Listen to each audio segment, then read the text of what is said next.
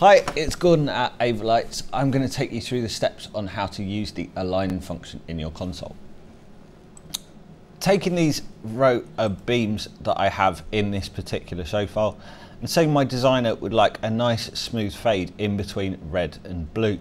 I can either worry about trying to mix all, the, all of those colours myself or I can use the align function to do that for me.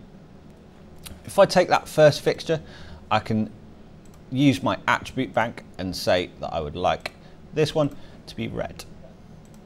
I know what instruction I want to give those last one, that last fixture in that row, so I'm going to say blue. I can now give instructions to all of these lights in between. So I've selected these fixtures from the left hand side to the right hand side.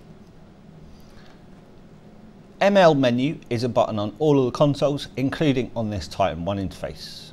If I say ML menu, I can then tap Align Fixtures on soft key D. What's going to happen then is all of these fixtures that I selected from left to right beforehand are going to go red, so they're currently waiting for an instruction.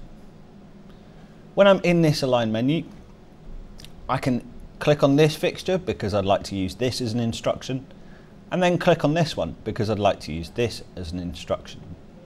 I can then work my way down my soft keys. At the top I've got a button that says align. I've then got a mask that I can use to apply a custom align if I would like. Soft key D is a toggle switch in between spread attributes and repeat attributes. I want to spread the attributes out in this scenario so that it makes a nice smooth fade from red to blue. If I tap align right now, it's going to make this nice smooth fade from red to blue for me.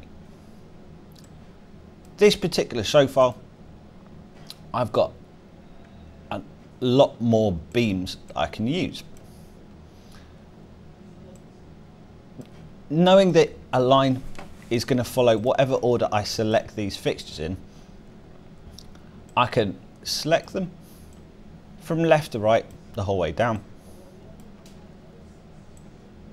I can then apply this spread that I have put on those first set of fixtures over all of these other ones.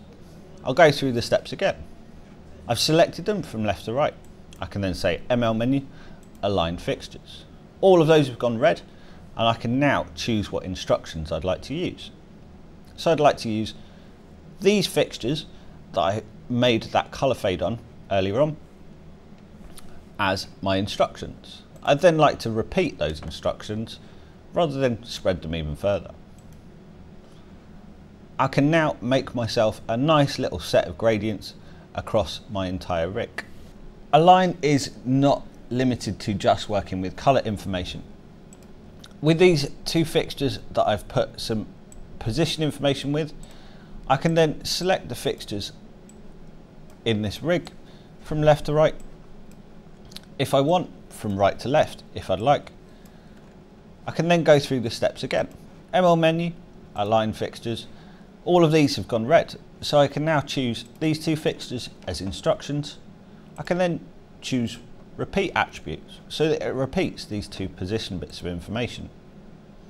I can use this mask to exclude other things so that it's just working with position. As soon as I tap align, I've now got a nice gradient effect across my rig and I've got a nice set of positions in there as well. Thanks for watching and tune into the next one.